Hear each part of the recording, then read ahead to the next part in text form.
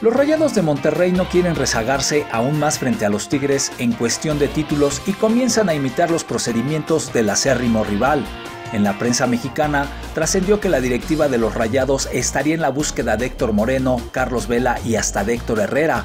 El portal ABC Noticias publicó que el equipo regio tiene entre sus prioridades fichar a elementos mexicanos que militen en el extranjero.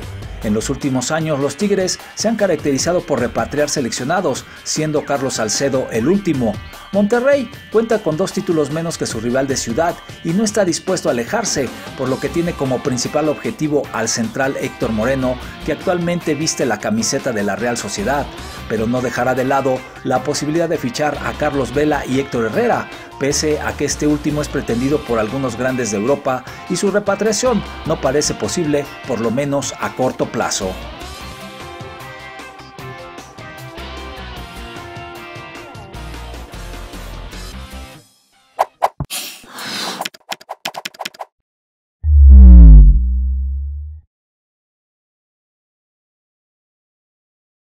Ya que nos encontraste, no nos pierdas. Suscríbete a nuestro canal de YouTube de Telemundo Deportes.